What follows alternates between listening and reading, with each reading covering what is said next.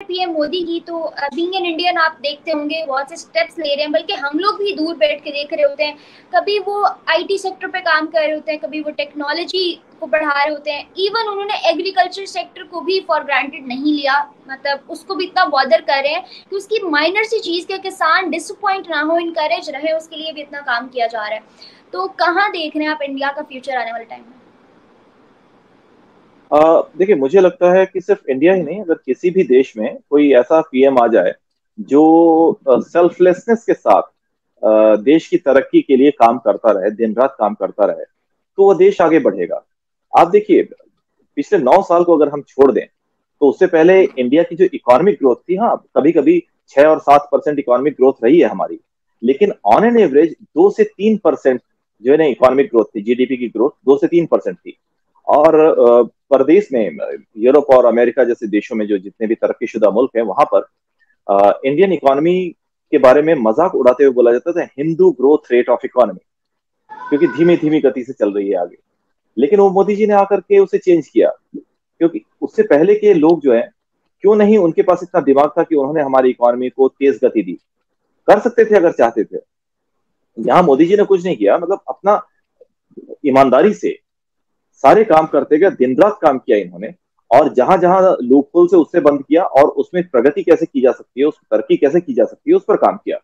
और उसका असर आज हमारे सामने है। आज हम दुनिया की पांचवी बड़ी मीशत है, और बहुत जल्दी ही, देखिए कितना कॉन्फिडेंटली इंडियन डायस्पोरा भी ये बात बोल रहा है कि बहुत जल्दी ही हम जर्मनी को पछाड़ते हुए दुनिया की सबसे चौथी सबसे बड़ी अर्थव्यवस्था बन जाएँगे। तो ये जो है, ये अगर आपके हुक्मरान अच्छे होते हैं, कभी हुक्मरान अच्छे मिल जाए तो आपको किसी बात की चिंता की ज़रूरत नहीं होती, क्योंकि वो आपके लिए काम कर रहे होते अपनी झोलियाँ नहीं भरते। तो यहाँ पर नियत और नियति दोनों बनाने का जो उदाहरण है, वो आपको देखने को मिलेगा। ऐसा ये सर ये बहुत बड़ा डिफरेंस है। खैर, ये थी आज की हमारी इम्पोर्ट और एक्सपोर्ट की कहानी कि इंडिया ने जिस चीज़ को बैन कर दिया है और पूरी दुनिया हैरत अंगेज निगाहों से हिंदुस्तान को देख रही है तो उसके पीछे भी हिंदुस्तान की अपनी आवाम का फ़ायदा है। सर कुछ दिन पहले की बात है कि गुजरात में पानी का बहुत ज़्यादा इशू चल रहा था और सैलाब आने की वजह से पाकिस्तान के पंजाब में पानी छोड़ना पड़ा। उसके बारे में आपने न्यूज़ तो सुनी होगी उसके बारे में क्या राय रखते हैं? हिंदुस्तान के बहुत से ने पानी लेने से इनकार कर दिया था। जी, क्योंकि उस समय हमारे यहाँ भी बाढ़ आई हुई थी। अभी आपको, आपने न्यूज़ में देखा होगा कि दिल्ली के कुछ इलाके अभी तक पानी में भरे हुए थे, जो हमारे यमुना के, यमुना नदी के किनारे वाला इलाका है। वहाँ आज भी जो मैदानों में पानी भरा हुआ है तो जो लोग निचले इलाकों में अपनी झोपड़ियाँ बना के रह रहे थे, वो टीलों पर आ गए हैं और उनके लिए रिहायशी कैंप चलाए जा रहे हैं। सरकार उन्हें खाना दे रही है। अगर ऐसे में वहाँ से हम पानी और ले लेते तो न सिर्फ़ वो बेचारे जो नीचे रह रहे हैं जो ऊपरी इलाकों में रह रहे हैं, वो सारे इलाके जो सबमर्ज हो जाते हैं पानी में। और न सिर्फ़ दिल्ली और हिमाचल, अब हिमाचल और उत्तराखंड का जो हमारा जो जो स्टेट है, यहाँ मानसून के समय में फ्लैश फ्लड बहुत होता है। वहाँ अचानक ढेर सारी बारिश हो जाती है गाँव के गाँव बह जाते हैं, पता ही नहीं चलता है। मतलब पूरे के पूरे गाँव बह जाते हैं। और उसका जो पानी है, वो बहता हुआ, गंगा और यमुना नदी में आता है, और उसकी वजह से यूपी में भी बाढ़ आ जाती है, दिल्ली में भी बाढ़ आती है। तो ऐसे कंडीशन में अगर हम पाकिस्तान से और पानी ले लेते जो पाकिस्तान छोड़ना चाह रहा था तो उससे हमें और दिक्कत होती। रही बात गुजरात की। गुजरात में पानी का की जो दिक्कत है वो हमेशा रही है। सिर्फ़ गुजरात ही नहीं राजस्थान में भी। जैसे हमारे इन इलाकों में आप 40 फुट 30 फुट खोदें तो नीचे पानी निकल आता है। लेकिन आ, आप राजस्थान में जाकर के देखें मैं बचपन में रह चुका हूँ राजस्थान में तो वहाँ मैंने देखा है कि 100 डेढ़ सौ फुट नीचे खोदने के बाद तब जाके पानी निकलता था। तो वो जो एरिड रीजन है वहाँ पर बारिश चाहे कितनी भी हो जाए लेकिन वहाँ पर जो ग्राउंड लेवल है वाटर का वो हमेशा नीचे रहा है क्योंकि वहाँ पर तपिश ज़्यादा है वहाँ पर सब्ज इलाके नहीं है इसकी वजह से ये दिक्कत होती है वहाँ पर। और वहाँ गुजरात में खासकर पानी जी।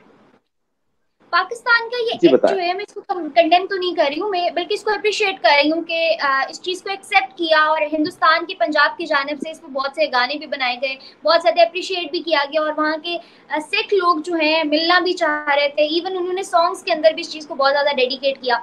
उस पर क्या कहेंगे? आपको नहीं लगता कि ऐसे स्टेप्स लिए जाने चाहिए दोनों तरफ़ से दोनों कंट्रीज़ की जानब से ताकि आने वाला फ्यूचर कहीं यकजहती की तरफ़ दिखाई दे?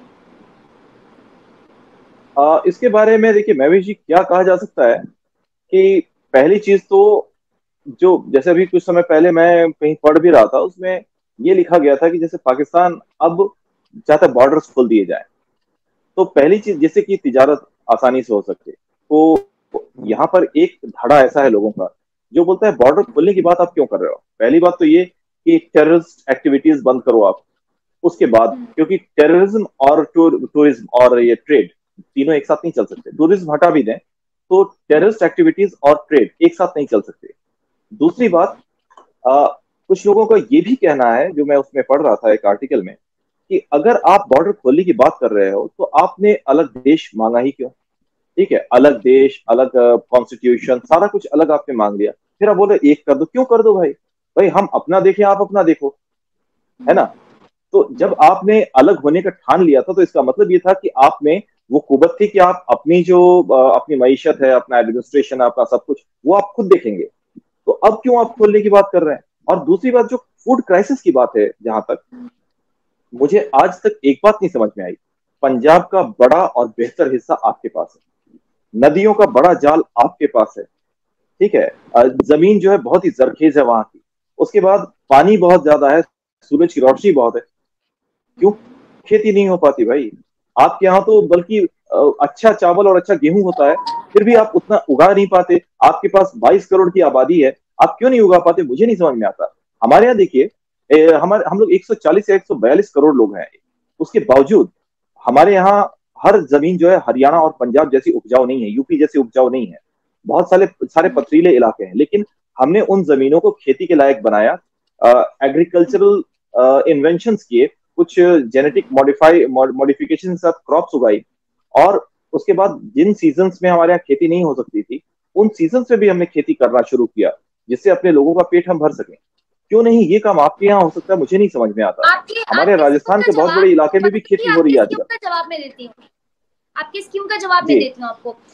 No doubt land is so fertilise no doubt के किसान काम भी करते हैं मेहनत भी करते हैं अपना पेट पालने के लिए लेकिन जो मोटिवेशन इस स्टेप पे राइस को लेके आपके किसानों को दी जा रही है आपके एग्रीकल्चर सेक्टर को दी जा रही है और आपकी आवाम उस तरीके से उनको सपोर्ट करेगी ना वो हमारे यहाँ किसानों को नहीं दी जाती। अगर किसानों की एक टाइम पे एक साल, एक सीज़न में फ़सल डूब गई है तो उनको उतना उनका बजट नहीं बनता है अगली दफ़ा कि वो दोबारा उतनी फ़सल बोए और उस पर उतनी मेहनत करके दोबारा लॉस उठा सकें। तो ये वजह है बाकी फ्लड्स और इस तरह के सिनेरियोज तो होते रहते हैं, लेकिन उन सिनेरियोज में आपकी पॉलिटिकल जो है ना सिचुएशन बहुत मैटर कर रही होती है। आपके पॉलिटिशियंस बहुत मैटर कर रहे होते हैं कि वो क्या स्टेप लेते हैं आपकी भलाई के लिए, जो इस वक्त राइस के एक्सपोर्ट को बैन करने का स्टेप पीएम मोदी ने इंडिया में लिया। तो इस तरह का कोई स्टेप भी यहाँ पे इनिशिएटिव नहीं लिया जाता, जो बहुत ज़्यादा डिमोटिवेट करता है एग्रीकल्चर सेक्टर के किसानों को कि वो अगली दफ़ा इतनी इन्वेस्टमेंट मत करें जेब से। ये बहुत बड़ी वजह यहीं पर सरकार की अहमियत होती है। सरकार की अहमियत यही होती है कि जब आपका किसान आपका तिजारती डूब रहा हो तो उसे आप सपोर्ट दें। वो अगर आप कर लेते हैं जैसे मोदी जी ने न सिर्फ़ एग्रीकल्चरल बल्कि ट्रेडर्स ट्रेडिंग सेक्टर को और ट्रेडिंग के साथ साथ जो मैन्युफैक्चरिंग सेक्टर सर्विसेज़ सेक्टर है इसको भी आगे बढ़ाने के लिए उन्होंने बहुत सारे इनिशिएटिव लिए हैं बहुत सारे देशों के साथ करार किए हैं जिससे कि हमारा ये दोनों मैन्युफैक्चरिंग सेक्टर और सर्विस सेक्टर ये आगे बढ़े। तो यहाँ पर सरकार की भूमिका बहुत महत्वपूर्ण और बहुत अहम हो जाती है।